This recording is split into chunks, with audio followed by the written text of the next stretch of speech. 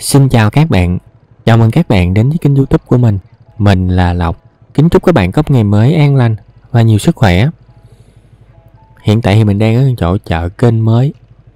Cái này là của xã Hanh Hòa, thị xã Cây Lậy, tỉnh Tiền Giang. Còn cái đường mình đang đi là đường 23A nha. Có chợ này thì khá là nhỏ nha. Mình thấy chắc được chừng mười mấy hộ buôn bán à. Ừ, giờ nhìn vô thấy đa phần thì toàn là người bán thôi. Người mua thì có mấy người à. Người mua chắc mình thấy chắc khoảng được chục người à. Nếu mà chợ quê thì đa phần là vậy đó. Lúc rày thì đi mấy bữa thứ bảy chủ nhật rồi đó thì mấy bạn thấy nó sẽ bán đỡ đỡ đường chút. Chứ còn ngày thường thì nhiều khi cũng điều hiu lắm. Không riêng gì những chợ ờ, khu vực vậy nha. Các bạn đi chợ ờ, thành phố hoặc là chợ thị xã đâu cũng vậy nữa giờ thì đụng vô, ai cũng than bán không được hoặc là bán chậm không à. Thậm chí là bán không được phân nửa lúc trước nữa. Mà chi phí thì cái gì nó cũng lên hết. Chi phí vận chuyển rồi kho bãi rồi mặt bằng rồi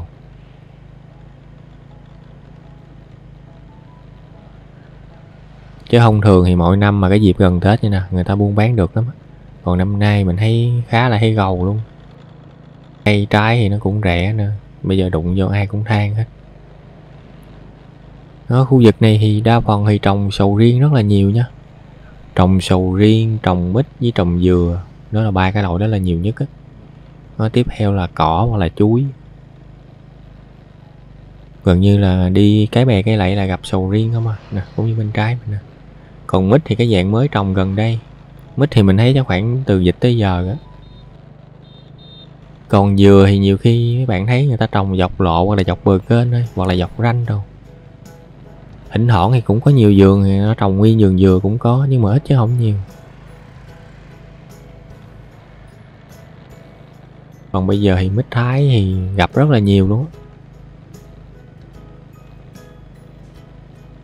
ừ, bên phải mình có cái quán ờ, cà phê ven sông nè đó mình thấy làm mấy cái chòi nhỏ nhỏ này, nhìn rất là đã luôn có điều không biết ở đây thì buổi tối có bị mũi không à?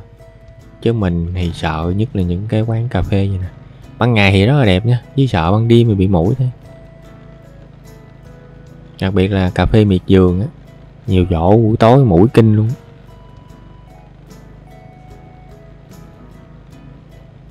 Nó cái đây mình chạy ra ngoài đường ờ, tránh thị xã rồi cái này nếu mấy bạn quẹo trái thì cái hướng đi về Mỹ Tho nha. Còn quẹo phải thì cái hướng đi về Cái Bè hoặc là đi về Vĩnh Long đâu. Nó bây giờ thì xe thì đa phần người ta đổ cái đường này không à. Chứ đi vô thị xã thì nó bị chậm trễ đi. Còn này mình sẽ đi thẳng luôn nha. Nó ra cái đường này xe nó chạy kinh lắm. Đặc biệt là mấy bác xe tải với xe khách rồi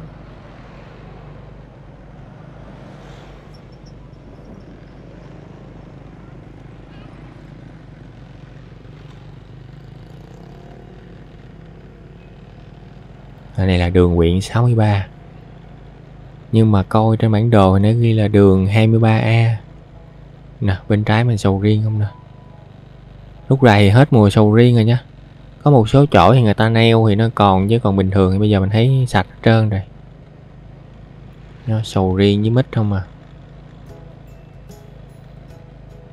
Còn dừa thì cũng có nhưng mà lát đác, Còn chuối thì mình không tính nha. Chỗ nào đất vườn thì đa phần là có chuối hết trơn à còn trồng cỏ để nuôi bò dê thì thấy cũng có, nhưng mà ít chứ cũng không nhiều. Ừ, đây có cây cầu mà không thấy để tên. Qua cầu này thì mình qua bên ờ, thị trấn Bình Phú rồi nha. Thị trấn Bình Phú là trung tâm của huyện ờ, cây lậy đó. Cây lậy thì lúc rồi nó tách ra là hàm ờ, thị xã với huyện rồi. Chứ nó không có gặp chung như đó nữa còn trung tâm của huyện Cây Lậy đó là thị xã Bình Phú là ngay chỗ chợ Bình Phú rồi đó đó.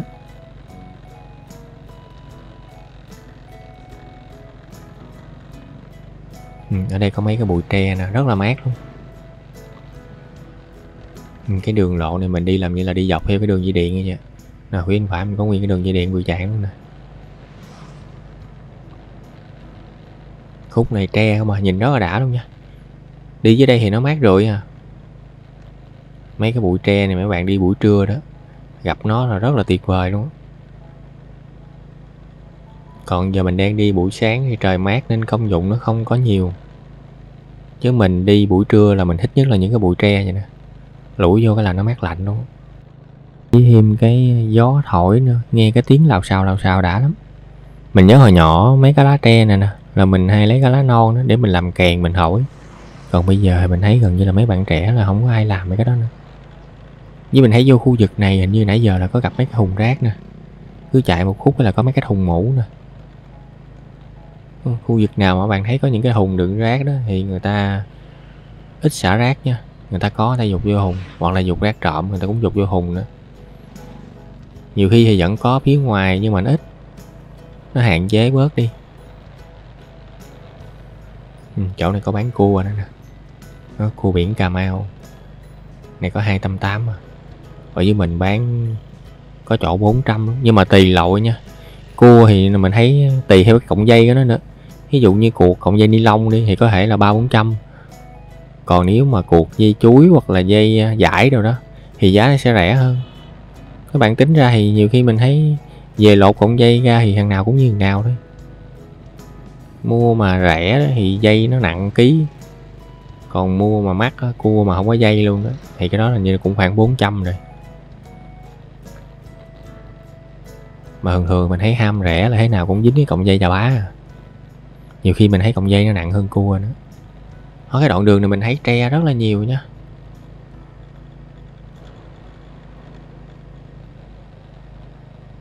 Ừ, còn bên phải là mít nè. Và mít này đang ra trái. Có một số chỗ thì mình thấy mít thì người ta phải bao lại nữa. Bây giờ thì mít thái tới ba mấy bốn chục ngàn ký lần bởi vậy nên người ta trồng nhiều lắm nhưng mà không phải ai trồng mà cũng có ăn nha. Mình thấy nhiều người trồng chưa có trái, cái nó bị ờ, khô đọt, khô đầu cành á. Rồi là mình thấy chuẩn bị đốn tới rồi đó. Còn không là bị chảy mũ. Cũng như mình thấy sầu riêng có giá vậy đó, nhiều người cũng ào ạt trồng. Nhưng mà không có kỹ thuật đó, rồi thì nó cũng văng dên hết trơn à. nếu mà trong mấy cái loại cây thì mình thấy có hàng dừa đó. Hàng dừa thì trồng thì nếu mà không bị đuông đó thì nó sẽ có trái ngon lành. Còn mấy cái loại cây kia phải chăm sóc rất là kỹ luôn. Ừ, đây cũng sầu riêng nè sầu riêng với tùng. Thường thường mình thấy trồng sầu riêng là người ta hay xen tùng vô lắm nha. Đặc biệt là khu vực cái bè cái lậy nè là hay gặp tùng bách tán lắm. Mình trái mình cũng ba cái tre trúc rồi không à nhìn rất là đã luôn. Bây giờ mà chạy những cái đường bờ kênh mà gặp những cái bụi này cũng hơi hiếm nữa. Có cái đoạn đường này đấy mình gặp quá trời luôn. Rồi, phía bên phải mình có bán đất rồi nha. Nguyên cái miếng cũng hơi bự nữa. Này đất nông nghiệp quá. Còn sát bên này có nguyên cái ruộng bắp luôn nè. Thôi bây giờ mấy bạn mua đất thì muốn cất nhà là phải hỏi cho kỹ nha. Chứ bây giờ mình thấy lên thổ cư là cũng hơi nhức răng lắm á. Ngày xưa chỉ cần mua đất nông nghiệp mà bạn cất nhà xong rồi bạn xin thổ cư được. Lỡ cất rồi thì từ từ xin cũng được nữa. Còn bây giờ mà đất không có thổ cư là mới đổ đóng vật liệu xây dựng là quỹ ban người ta lại rồi. Bây giờ thì cất cái đó nó hơi khó. Ừ, ở đây có nguyên hàng xua đũa luôn đó phía sau cũng là mít thôi. Nó mít thái hoặc là dừa sim xanh. Còn không thì dừa mã lai. Giờ là gặp hai loại dừa đó là nhiều nhất. Thỉnh thoảng thì cũng có bưởi đấy nha. Bưởi da xanh nhưng mà mình thấy cũng ít chứ không nhiều. Còn bên trái thì sầu riêng không à. Sát lộ thì nguyên cái dải này trồng chuối. Ừ, khúc này bạn thấy nó gần như là rất là ít nhà cửa cái đường này mình thấy chạy buổi tối chắc tối thui quá, nãy giờ đâu có thấy đèn đường gì đâu. Nhiều cái đường mà nếu mà không có đèn đường thì nhờ nhà cửa người ta hắt cái đèn ra thì cũng đỡ. Nè, chỗ này thì bán tập quá với bán bia nước ngọt. Này, mình thấy nhiều cái hùng rác làm như là nó cũng đầy rác hay sao người ta dục ra ngoài luôn cũng có nữa. Không phải là khu vực nào thì cũng có hùng rác nha, nó cũng hạn chế lắm.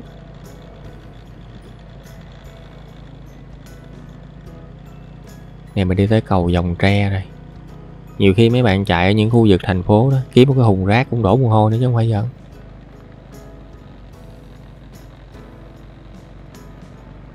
Ở đường này nếu mấy bạn quẹo phải thì cái hướng đi ra ngang chỗ cầu Bình Phú á nha, ngang chỗ chợ Bình Phú á. Hoặc là lại ngang chỗ trung tâm hành chánh huyện nó còn quẹo trái thì đi lại ngang chỗ phà Tân Phong, Hiệp Đức. Còn không thì đi ra ngoài chợ Cẩm Sơn cũng được. Nói cái đường nữa thì chạy cũng ngon lắm bọn này mình sẽ đi tiếp tục đi thẳng nha. Mình chạy lên cái hướng ờ, chợ rồng. Ừ, chỗ này thì ngay chỗ ngã tư bởi vì nhà cửa nó sẽ đông đông đường tí. Ừ, bên trái có cây xăng nữa các bạn chạy những đường quê mà thấy xe mà gần hết xăng đó thì gặp cây xăng là tốt nhất là đổ nha. Chứ để nhiều khi kiếm thêm một cây nữa thì nó cũng hơi khó đó. Phải chạy lên những khu vực chợ hoặc là đông dân thì quả mai mới gặp nó thôi.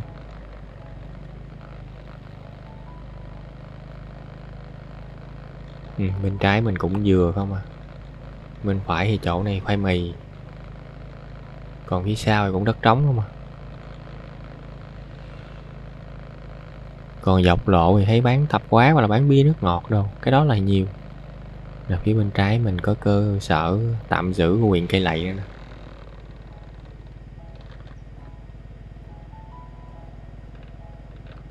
Cái này làm như mới xây à nhìn mới to nè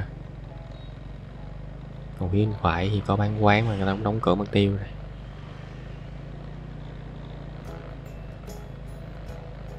Phía sau thì cũng là mít với sầu riêng nha, hai cái đó thì rất là nhiều luôn.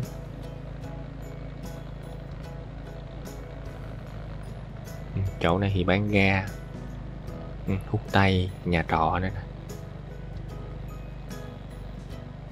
Có nhà trọ sát lộ nhưng mà có một hai chỗ bán còn nhiều toàn đóng cửa không à bây giờ thì mình thấy người ta có điều kiện, người ta có nhà trọ hoặc là nhà cho thuê rồi rất là nhiều luôn á.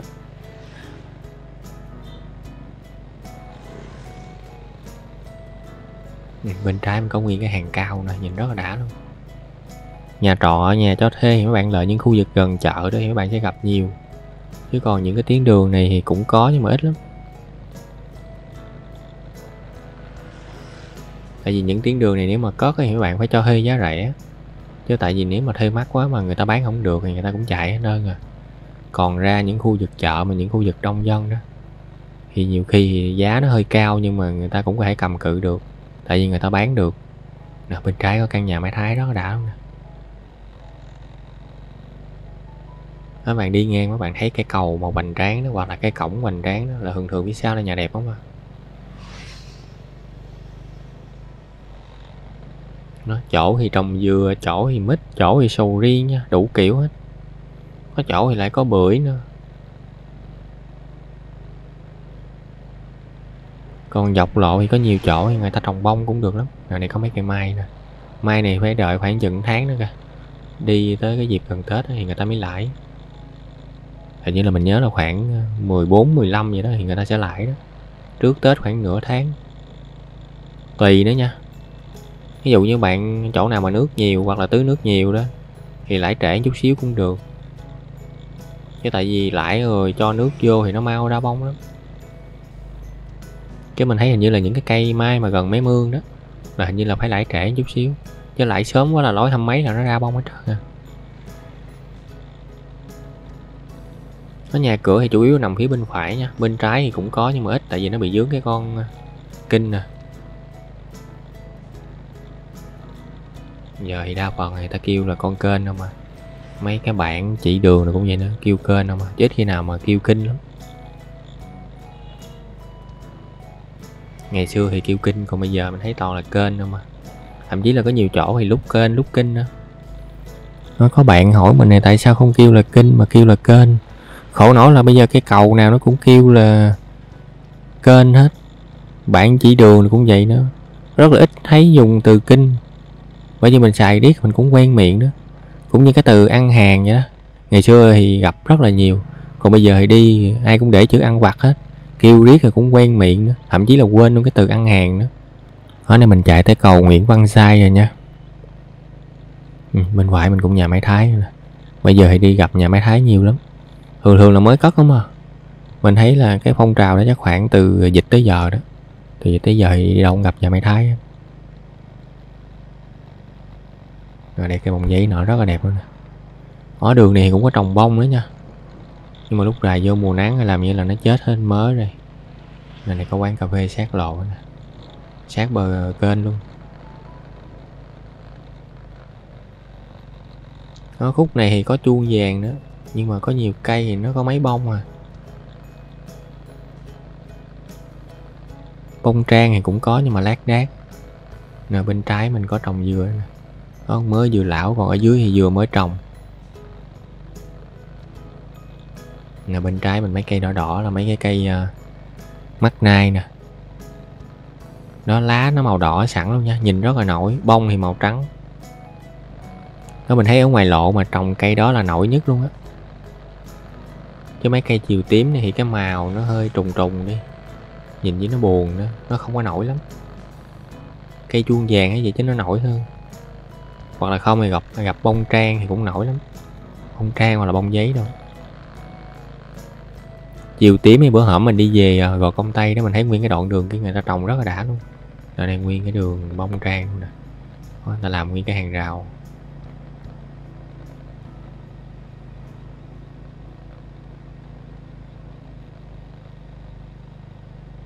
Nó còn phía sau thì cũng là mít trong nha. Nó mít nhiều chỗ mình thấy nó bị khô đầu cành hết trơn à các bạn nhìn thấy cái ngọn đó đó toàn là trà không mà không thấy lá vậy đó. là mấy cây đó là bệnh rồi đó mà chuẩn bị đốn rồi. Ăn chắc được chừng mùa nữa ở đường này nếu các bạn về phải thì cái hướng vô miếu bà chuối xứ nha. Cái này mình đi qua bên ờ, xã Phú An rồi. Nè, bên trái có cái vườn đủ đủ rất là đã nè để mình quẹo qua cho bạn coi. Cái miếu thì phải chạy vô chút xíu nữa. Nè, khúc này thì toàn là mít không mà cái vườn đu đủ thì nó nằm phía bên kia. Đó, nhưng mà trồng mà nhìn rất là đẹp nha trái cũng sai nữa.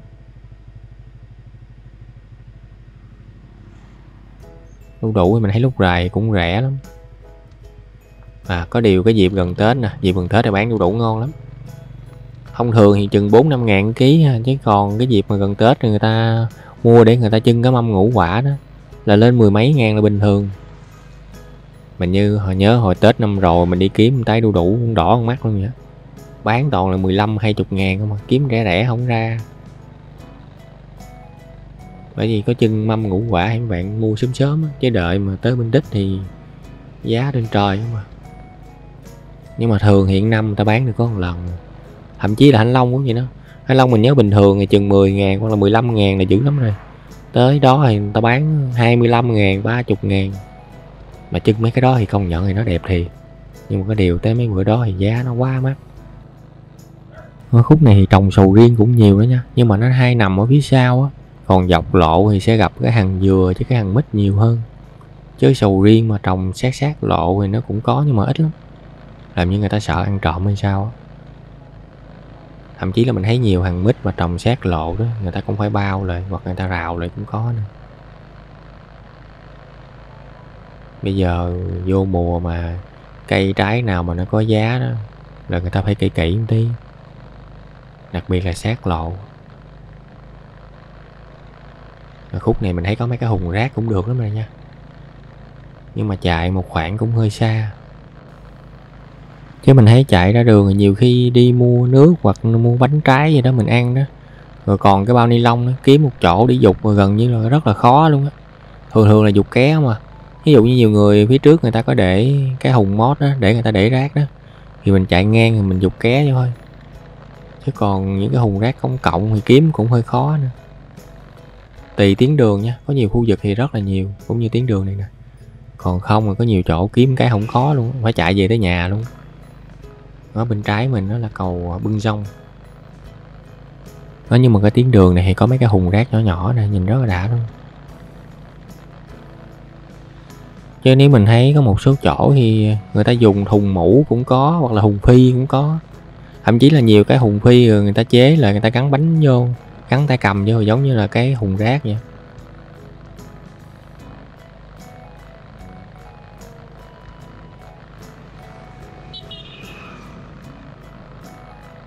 Cái tuyến đường này mình thấy nhà máy thái rất là nhiều cứ chạy khúc là gặp à, toàn là mới mới không à.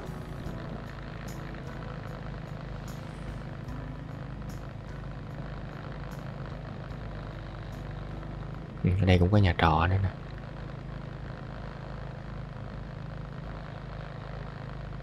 Mà mình thấy vòng vòng ở đây gần như đâu có thấy nhà máy xí nghiệp gì đâu.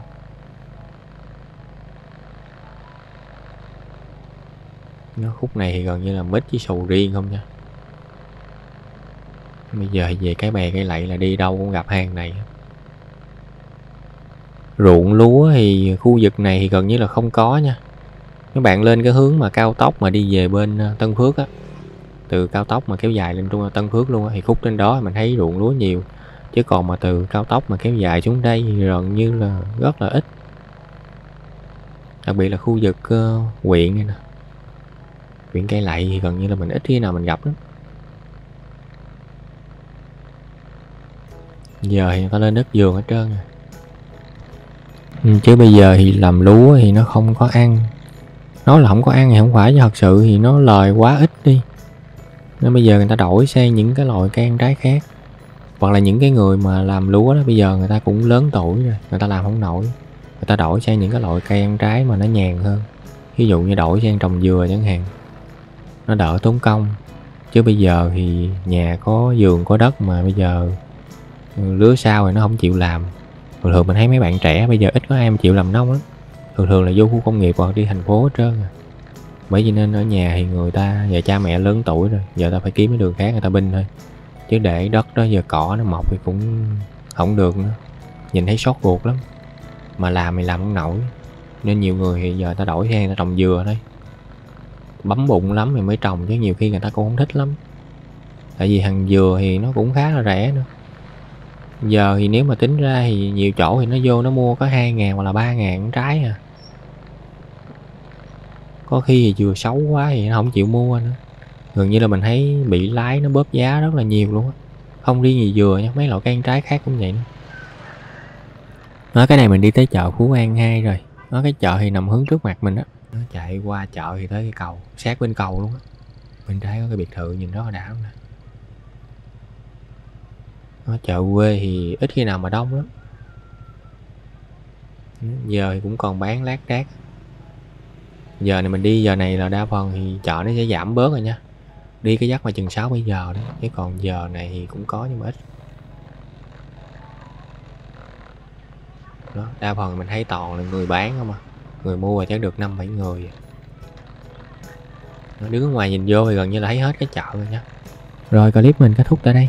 Chào tạm biệt các bạn. Hẹn lại các bạn trong clip khác.